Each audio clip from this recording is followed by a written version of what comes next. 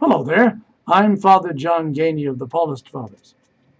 Anger is painful when it erupts in our lives. Right now, I hear lots of people talking about anger and anger in their own lives over what they are seeing going on in our country. Maybe it's our politics, and maybe seemingly exploding and endless terrorist attacks. Why the anger? Because we are frustrated. People don't know why their salaries are stagnant, for example, don't know why white police officers kill black people, don't know why young black men with military backgrounds are targeting and killing police in local cities. Where does anger come from? Many folks often speak of the seven capital sins.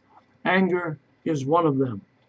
A capital sin means it's a source of other kinds of destructive behavior.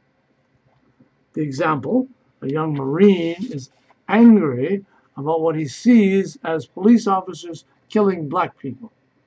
His anger leads to murder.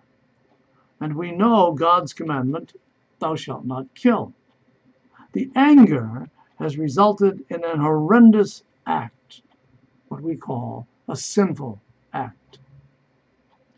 But what do we do about the anger that gets going in our own situations?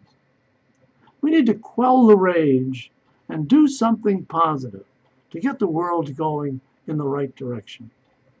Maybe it means saying thank you to the next police officer we see. Maybe it means inviting your black neighbor to dinner.